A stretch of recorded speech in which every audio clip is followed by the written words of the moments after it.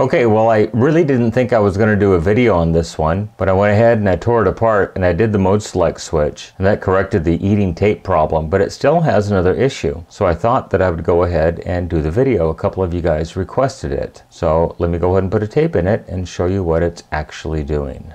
Okay, so here we go. I've got a tape. Go ahead and pop it in. It loads correctly.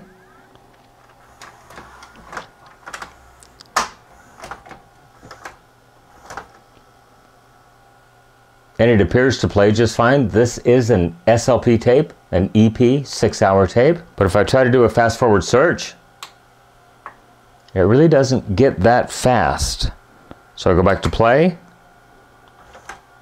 And when I hit play, it stops and unloads the tape, turns off the power. So power back on, it ejects the tape. Let's put the tape back in it. It loads the tape correctly. So I'm going to stop it. I'm going to hit fast forward. Now pay attention to the speed in which it fast forwards.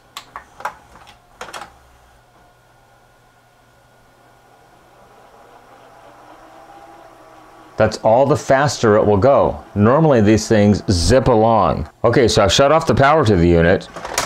And one thing that I noticed is I can't turn the capstan shaft by hand. It's really bound up. I'm not sure if it has a bad bushing or what. If I try to move this gear down here, it does move the belt down below, but it never turns the actual capstan motor. So I'm wondering, is there something binding this unit? Is the bushing just failed? So I'm gonna have to pull this thing all the way back apart, take out the two screws, the plastic one and the machine thread screw, and see if did something get folded over under the capstan motor that's binding it up. I may have to unsolder the ribbon cable and actually remove the transport from the chassis. So let me go ahead and pull it apart and we'll see what it leads to.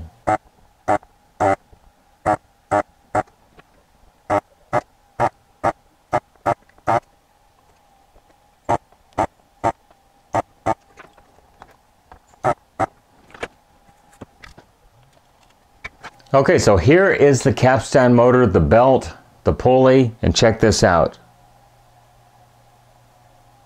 I can move this and the capstan motor does not move. It will eventually break away. Maybe. There it moved.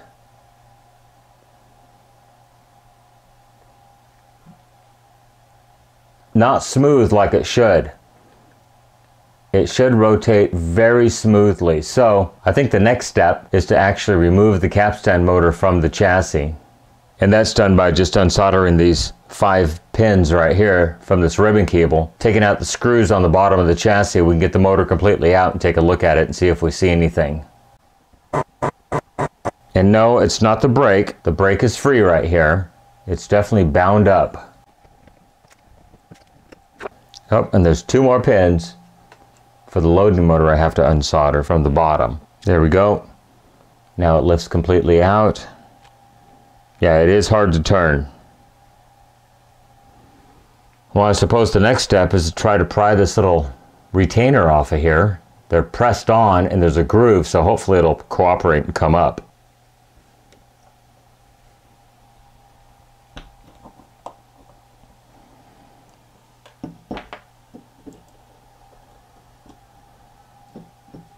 There it comes.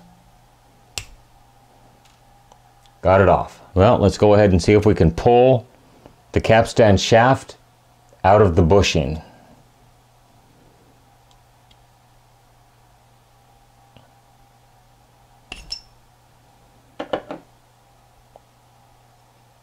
Oh, look at that.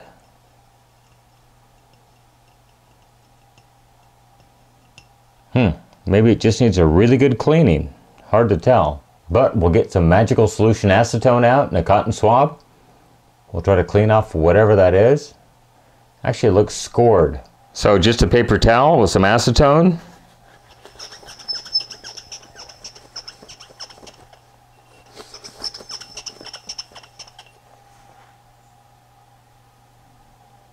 Yeah, it is scored up a little bit. Well, let's go ahead and clean out the bushing and see if that makes any kind of a difference. I may have to try to cannibalize another unit to get a capstan motor or at least a shaft out of it. We'll see how it goes. So I have a cotton swab moistened with acetone and I've removed a lot of the cotton from it.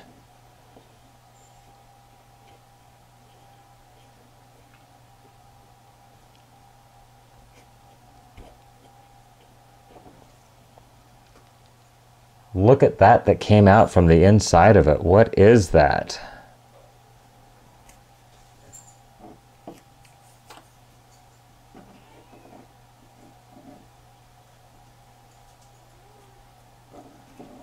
Huh, interesting. So we'll try it one more time. I may not have removed enough of the cotton.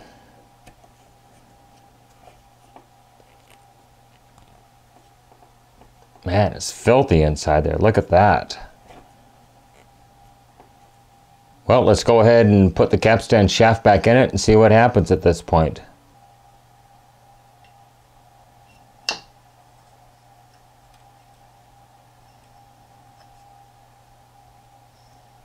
Much better. Much, much better. Okay, so I have some white lithium grease and I'm just going to go ahead and run it through here and lube it up really good both sides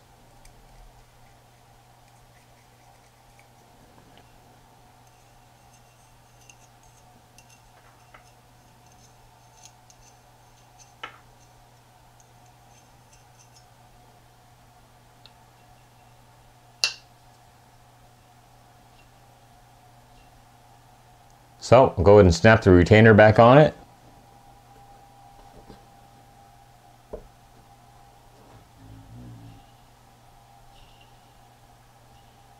That should be just fine. Well, so far, much better. That's the way it should spin.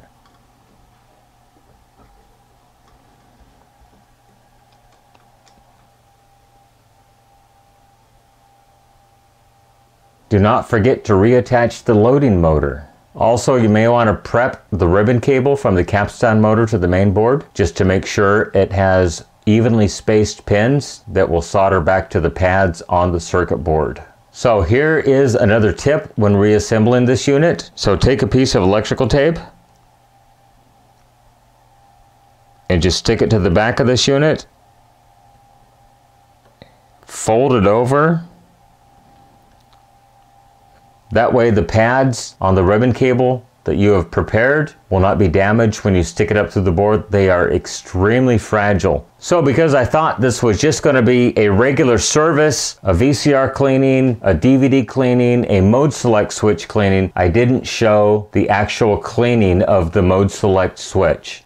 Let's pop the top off.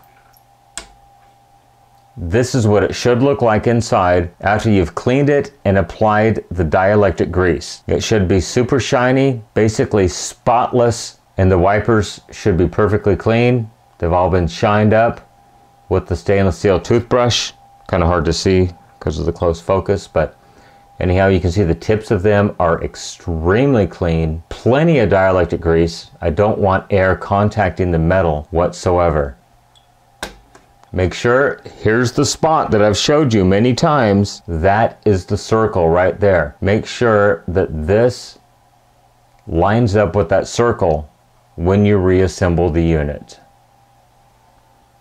Remember, do as I say, not as I do. I almost forgot to solder in the cylinder motor drive.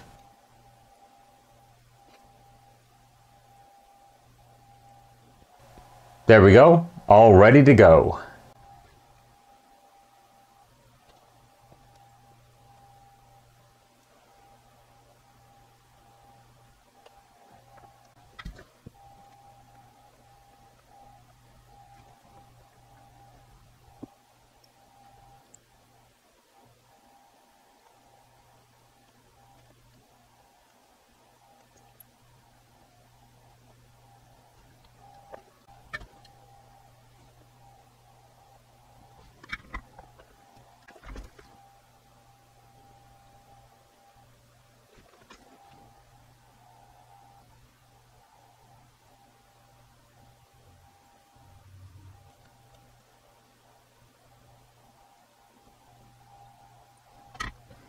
So in reassembly of this unit, I wanted to let you know that I did go ahead and replace this capacitor right here with a brand new Nichicon 4700 microfarad capacitor. Okay, all back together. Let's go ahead and pop a tape into it.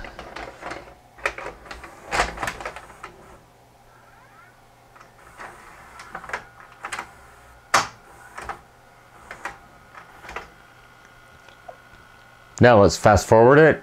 Fast forward search. Remember last time it shut off? Back to play.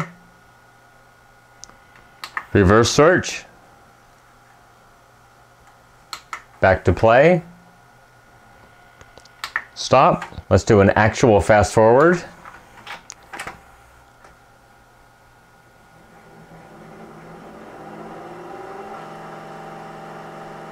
Stop. Rewind.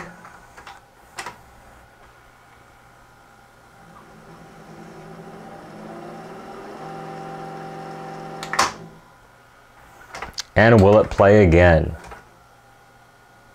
Yes, it does play. That was the problem. Well, I wasn't totally happy with the way the capstan motor turned out, so I went ahead and pulled a capstan motor out of a scrap unit and replaced it in this unit. So now let's take a listen to it.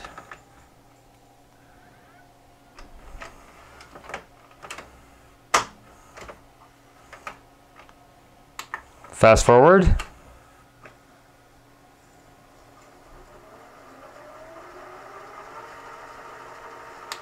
Rewind.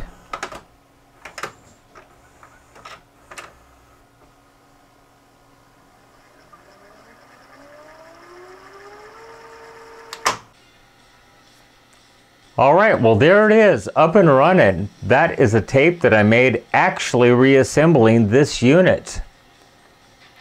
So I had an old 1980s camcorder that I set up and videoed me putting this thing back together. Anyhow, it's up and running. It has a different capstan motor in it right now. It sounds perfect. It works great. That's it. The end of the video. I certainly hope you enjoyed the video on the repair of the Sanyo DVD recorder FWZV475F. Go ahead and hit that subscribe button and like this video. It really does help my channel grow. You can follow me on social media, Facebook, Instagram, Twitter at NorCal715. You can email me norcal715videos at gmail.com. Go ahead and leave me a question, a comment, a concern down below. I try to read all the comments and respond when I have time. Remember, with your help, we can try to keep these things out of the landfill, out of the recycle bin, and out of the e-waste facility. Everybody, thanks for making it to the end of this video. I really do appreciate it. Everyone have a great day. Once again, thanks for watching. Bye-bye.